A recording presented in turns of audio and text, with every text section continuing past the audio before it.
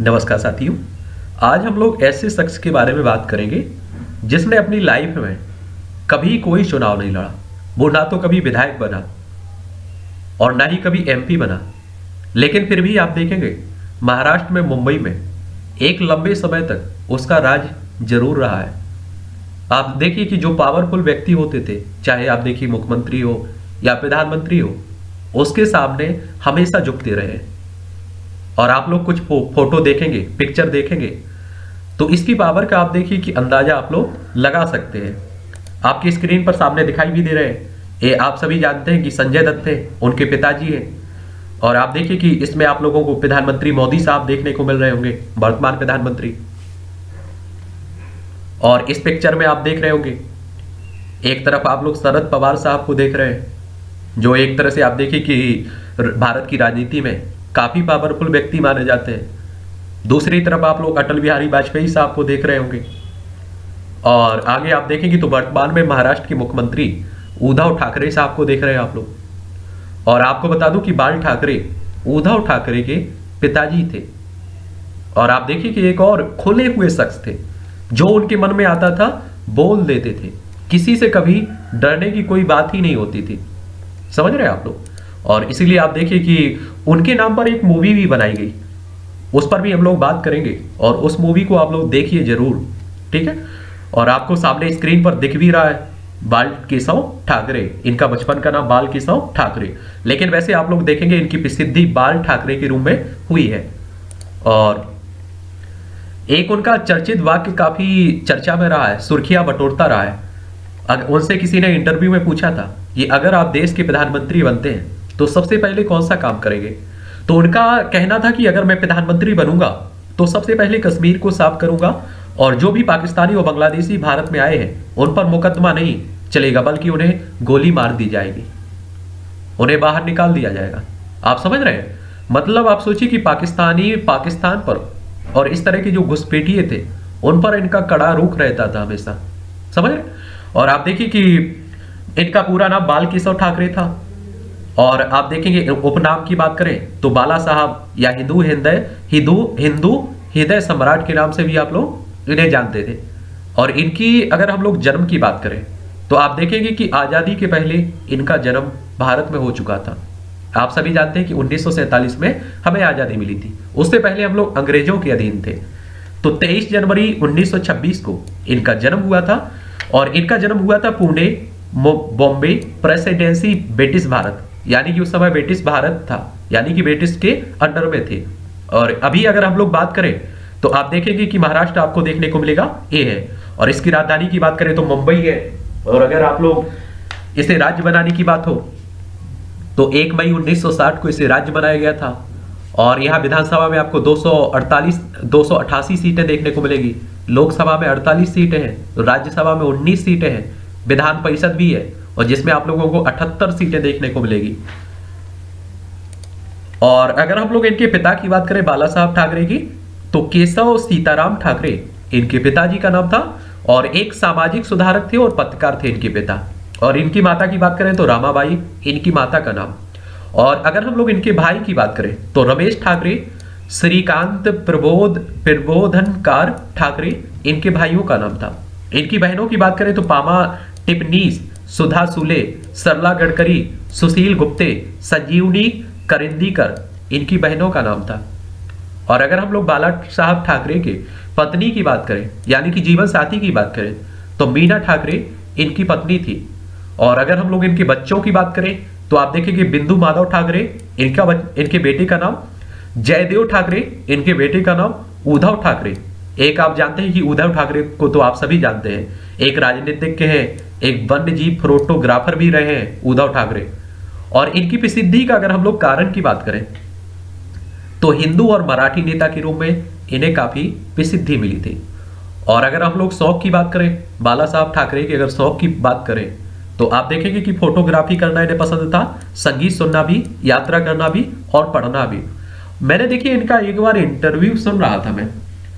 किसी पत्रकार ने इनसे पूछा कि अगर आप बियर पीते हो तो इन्होंने साफ़ कहा कि हाँ पीता हूँ। मतलब आप देखिए कि जो भी करते थे, इनके अंदर दिखावा नहीं था। वरना अधिकतर लोगों को आप देखिए पब्लिक में पूछेंगे तो वो मना कर देते हैं। और बाद में वो आप देखेंगे कि उनके शौक इस तरह के हैं, उस तरह के हैं। उनके मन में जो भी सवाल आता था, जो भी कोई कुछ भी पूछ रहा है तो उसका साफ़ जवाब हुआ करता था। और इनके पसंदीदा राजनेता की बात करें तो आप देखेंगे, एडोल्फ हिटलर के काफ़ी प्रशंसक भी थे और और आप देखेंगे पसंदीदा राजनीतिज्ञ की बात करें तो अटल बिहारी वाजपेयी को काफ़ी करीबी भी माने जाते थे उनके।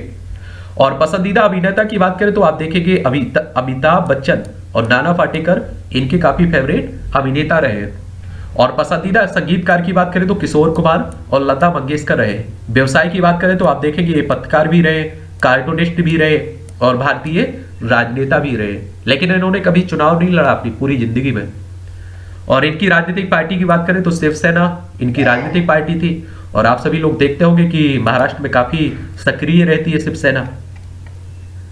अगर हम लोग कार्टूनिस्ट के रूप में इनके करियर की बात करें, इनके सफ़र की बात करें तो बाला साहब ने अंग्रेज़ी अखबार द फ्री प्रेस जर्नल में कार्टूनिस्ट की नौकरी से अपना करियर शुरू किया था।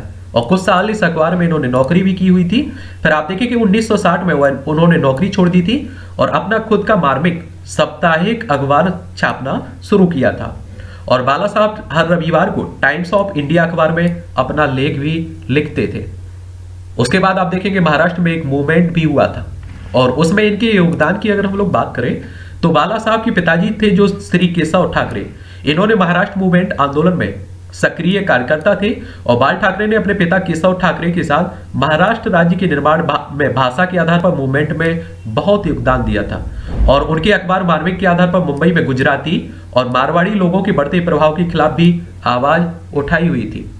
और आप देखिए कि अभी भी शिवसेना को ऐसा माना जाता है कि ये महाराष्ट्र उत्तर प्रदेश, या आप देखिए बिहार से आने वाले लोगों के खिलाफ होती है ये पार्टी। या आप देखिए कि उनकी, ये कहती है कि आप सोचिए कि उनका विरोध करते रहते हैं। ऐसा इन्हें माना जाता था। और राजनीतिक सफ़र की अगर हम लोग बात करें तो आप देखेंगे साल 1966 में बाला साहब ठाकरे ने महाराष्ट्र में शिवसेना नाम की अपनी, खुद की एक हिंदूवादी संगठन की स्थापना की थी। और उन्होंने कभी कभी कोई, एक तरह से आप देखिए इतराज नहीं रहा है। वो साफ़ कहते थे कि वो हिंदू, कट्टर हिंदूवादी नेता है।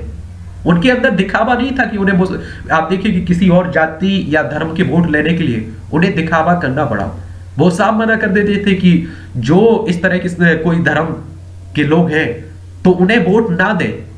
आप देखते हैं कि सॉफ्ट कोई हिंदूवादी नेता हैं जो अपने आप को सॉफ्ट दिखाने लगते हैं। ठीक है? बाद में शिवसेना एक राजनीतिक पार्टी बन गई और उनकी इस पार्टी का निशान धनुष बाण रखा और उनके ध्वज का कलर भगवा रंग रखा गया था। और शिवसेना की स्थापना के बाद आप देखें कि बाला साहब अपने उत्तेजित करने वाले भाषणों से पूरे भारत में काफ़ी सुर्खियाँ भी बटोरी। और उत्तेजित बयानों से उनके खिलाफ कई लोगों ने कोर्ट में मुकदमे भी चलाए, यानी कि उन्हें परेशानियों का सामना भी करना पड़ा। फिर भी आप देखेंगे वो कभी पीछे नहीं उठे और इसीलिए आप देखिए कि उनका नाम आज बड़े सम्मान के साथ लिया जाता है। और आप देखिए कि उनकी उनकी बोलती थी पार्टी स्थापना के कुछ साल उनकी सफलता, उन्हें सफलता नहीं मिली, लेकिन धीरे धीरे शिवसेना आगे बढ़ने लगी। और बीसवीं सदी के अंत तक भारत में कांग्रेस पार्टी का एक तरफा वर्चस्व रहा है। और, लेकिन साल उन्नीस में भारतीय जनता पार्टी और शिवसेना ने गठबंधन करके भारत देश में विरोध पक्ष मज़बूत कर दिया। और दोनों पार्टी के बीच समझौता हुआ और महाराष्ट्र की राजनीतिक लड़ाई में दोनों पार्टियाँ साथ खड़ी रही। और एक लंबे समय तक आपने देखा होगा कि बीजेपी, भारतीय जनता पार्टी और शिवसेना साथ रही है। फिर आप देखिए 28 जुलाई 1999 को भारतीय चुनाव आयोग ने बाल ठाकरे को नफरत और डर की राजनीति करने के कारण वोट डालने और चुनाव लड़ने पर रोक लगा दी थी। और आप देखिए कि लगातार छह साल तक राजनीति से दूर रहने के बाद बाला साहब ठाकरे ने 2005 में वोट डाला था। तो इस तरह की समस्या का उन्हें सामना भी करना पड़ा। राज ठाकरे को लगता था कि बाला साहब ठाकरे के बाद शिवसेना का अध्यक्ष वही बनेंगे, लेकिन आप सभी जानते हैं कि उद्धव ठाकरे को पार्टी का अध्यक्ष बनाया गया 2005 में। और आप देखिए कि राज ठाकरे, बाल ठाकरे से नाराज़ हो जाते हैं और आप देखिए कि उनसे अलग होकर राज ठाकरे शिवसेना से दूर होकर साल 2006 में महाराष्ट्र नवनिर्माण सेना नामक एक पार्टी का गठन करता है। आप देखिए, एक और बात सामने आती है कि उद्धव ठाकरे को राजनीति में दिलचस्पी नहीं थी। और जो भी राजनीतिक हिस्सेदारी हुआ करती थी, राजनीति में भाग लेने की, कहीं पार्टी की प्रचार प्रसार की तो उसमें राज ठाकरे आगे रहा करते थे। लेकिन आप सभी जानते हैं इस बात को, मुझे लगता है, कि बाप के बाद आप देखिए, बेटे के हाथ में ही राजनीतिक जो भी सत्ता होती है, उसका विरासत जाती है। इसका उदाहरण उत्तर प्रदेश में अभी हाल ही में आपने देखा होगा। शिवपाल यादव काफ़ी सक्रिय रहे। लेकिन बाद में आपने देखा है कि शिवपाल को राजनीतिक विरासत नहीं हासिल हो सकी। और कई इसके उदाहरण आपको देखने को मिल जाएँगे देश में।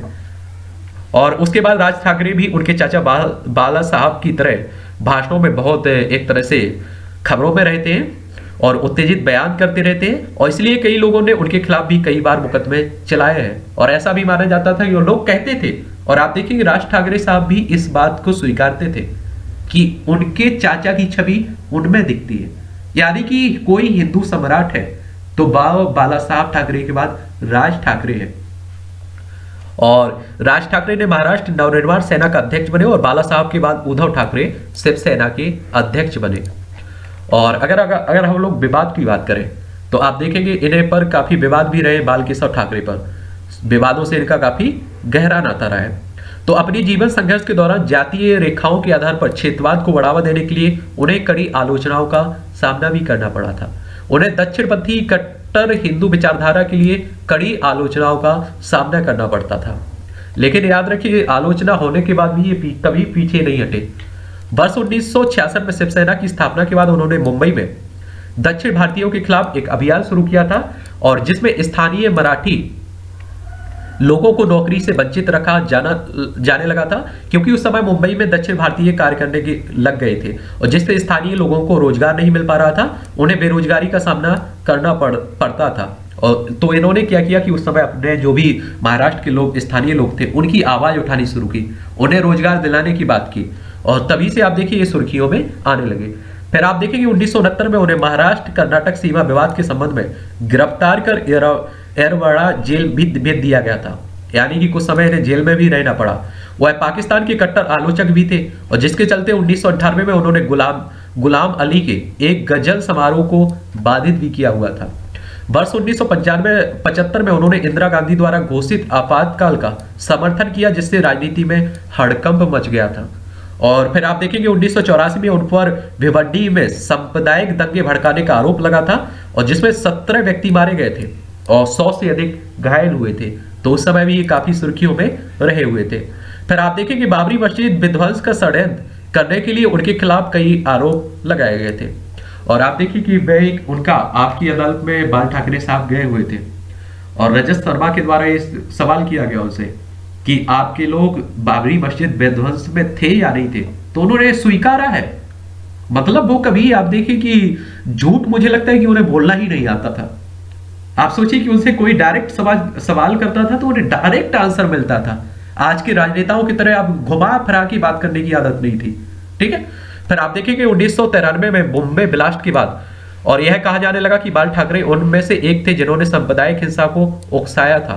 फिर आप देखेंगे उन्नीस में उन्होंने बॉलीवुड फ़िल्म बॉम्बे के प्रदर्शन का विरोध किया था, जो उन्नीस सौ तिरानवे में मुंबई बम धमाके के बाद मुंबई में सांप्रदायिक दंगों पर आधारित थी।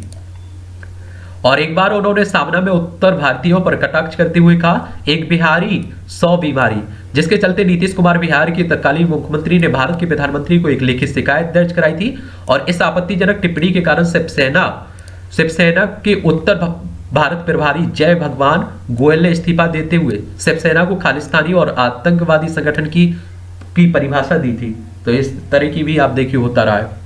उनके द्वारा एपीजे अब्दुल कलाम भारत के जो उस समय के तत्कालीन राष्ट्रपति थे, उनका भी अपमान किया गया था, क्योंकि उन्होंने अफजल गुरु की मौत की सजा पर कोई भी औपचारिक जवाब नहीं दिया था। तो आप देखिए कोई उनकी एक तरह से आलोचना की थी किनकी? भारत के राष्ट्रपति की। फिर आप देखें कि 2007 में दैनिक अखबार के एक साक्षात्कार यानी कि इंटरव्यू में हिटलर की प्रशंसा करने के लिए उन्हें कड़ी आलोचनाओं का सामना करना पड़ा था। मैं बता रहा हूँ ना आपको कि उनकी आलोचना होती रहे, उन्हें कोई फ़र्क नहीं पड़ता था। जो उनके मुँह से जो शब्द निकलता था, उस पर कभी माफ़ी जैसा शब्द आया ही नहीं है। 2007 में शिवसेना रैली के दौरान उन्हें, उन्होंने मुस्लिम की हरा हरा जहर के रूप में परिभाषित दी थी, जिसके चलते उन्हें गिरफ़्तार भी किया गया था। और वह विवादों में तब आए जब उन्होंने एक तमिल आतंकवादी संगठन, एलटीटी, का समर्थन किया था।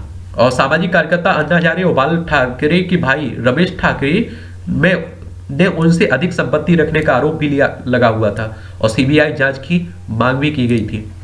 तो इस तरह के बाला साहब ठाकरे से विवाद भी जुड़े रहे और मुझे लगता है कि इस तरह के आप रहते हैं, कोई आप देखिए चर्चित व्यक्ति रहते हैं और इस तरह के कट्टर व्यक्ति रहते हैं तो विवादों का जुड़ना आपसे स्वाभाविक सी बात हो जाती है। फिर बात आती है इनकी मृत्यु की, यानी कि अंतिम समय की।